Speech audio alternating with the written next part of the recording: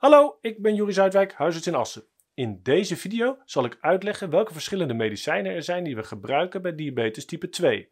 Ik zal de werking en bijwerkingen van de verschillende medicijnen bespreken en het stappenplan wanneer welk middel geadviseerd wordt. Zo kun je je voorbereiden als het nodig blijkt dat je medicijnen gaat gebruiken als je diabetes niet goed onder controle is. Maar het is ook slim om te begrijpen wat de medicijnen doen als je deze al gebruikt. Het is goed om te begrijpen hoe de verschillende middelen werken, wat de mogelijke bijwerkingen zijn en wat je kunt verwachten aan de daling van de glucosespiegel en wat het doet op je gewicht. Een technisch verhaal. Maar als je gaat koken weet je ook vaak het verschil tussen zout, peper, rozemarijn en koriander.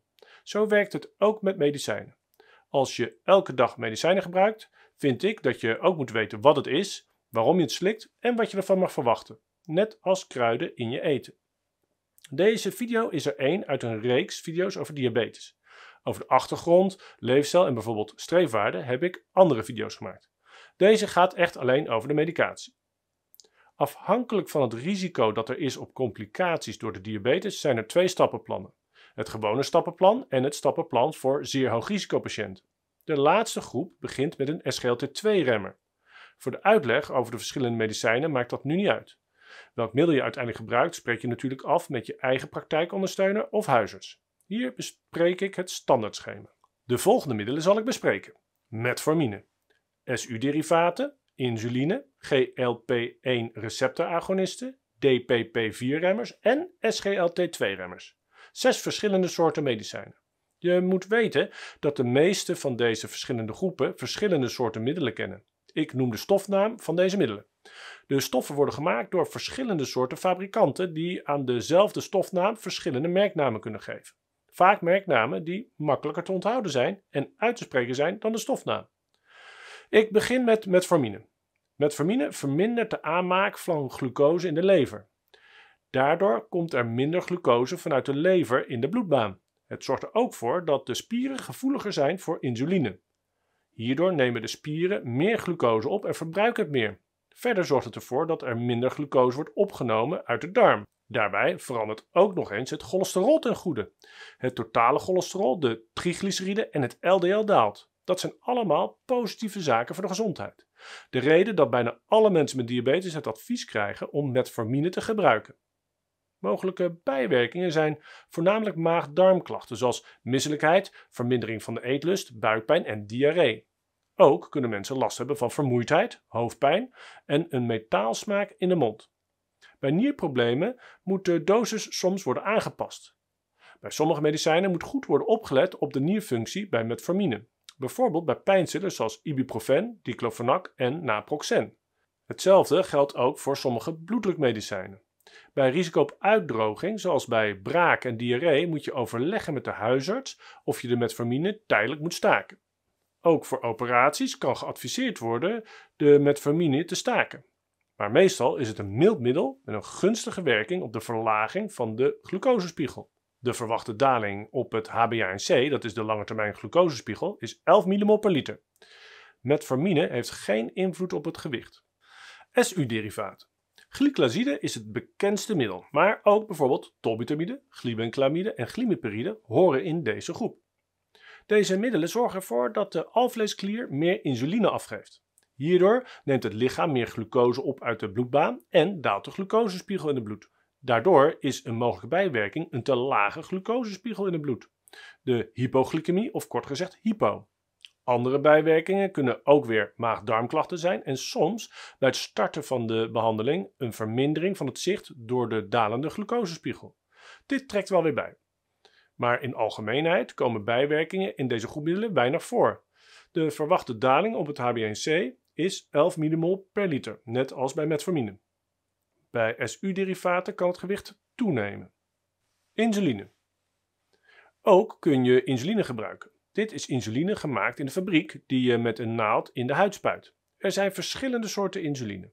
Langwerkende, middellangwerkende en kortwerkende insulines. De werking is natuurlijk vergelijkbaar met insuline dat je lichaam zelf aanmaakt. Met kortwerkende insuline daalt de glucosespiegel een aantal uur. Bij langwerkende insulines daalt de glucosespiegel vele uren tot bijna een dag. De kortwerkende spuit je dan ook bij het eten en de langwerkende spuit je één keer per dag, meestal s avonds. De voor de hand liggende bijwerking is een te lage glucose, als je te veel spuit of te weinig koolhydraten eet. Verder klachten op de plek waar je prikt, roodheid, pijn en jeuk op de injectieplek. De verwachte daling op het HbA1c, de langetermijns glucosespiegel, is groot, gemiddeld meer dan 18 mmol per liter. Bij insuline kan het gewicht toenemen. GLP-1-agonisten en DPP-4-remmers hebben direct met elkaar te maken. Daarom leg ik eerst uit hoe ze gezamenlijk werken. Wat achtergrond over wat deze stoffen doen in de stofwisseling van glucose.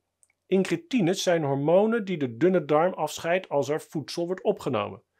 Eén daarvan is GLP-1, glucagon-like peptide 1.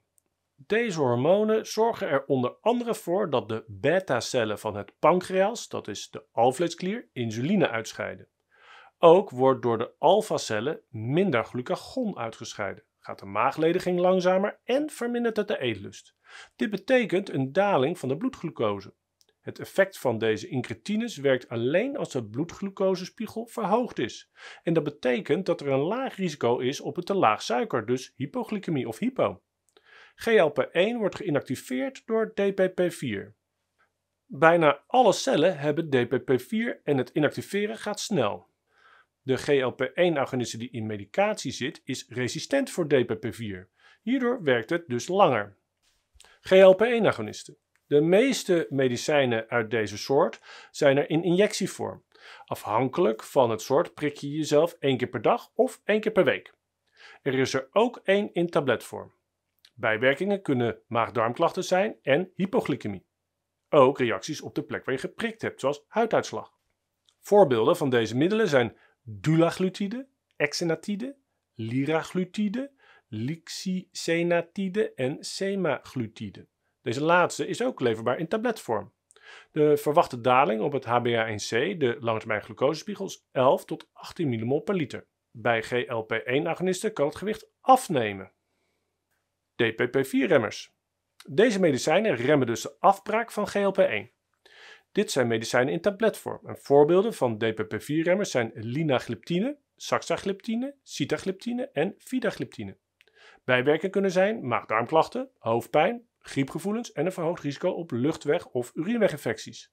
De verwachte daling op het HbA1c is 7 tot 9 mmol per liter. Bij DPP-4-remmers kan het gewicht toenemen. SGLT2-remmers. Middelen uit deze groep zorgen ervoor dat de nier meer glucose uitplast. Hierbij plast de nier ook meer natrium uit.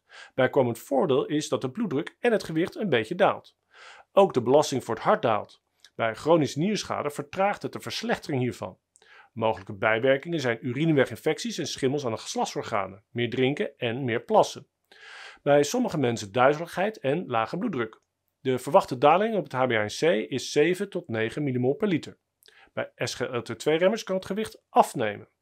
Er bestaan nog wel andere middelen, maar die gebruiken we eigenlijk bijna niet. Al met al een uitgebreid overzicht van alle medicijnen voor type 2 diabetes. En voor meer informatie over diabetes raad ik je ook mijn andere video's aan te bekijken. Tot de volgende keer!